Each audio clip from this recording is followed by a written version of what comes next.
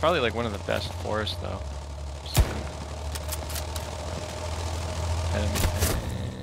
Man,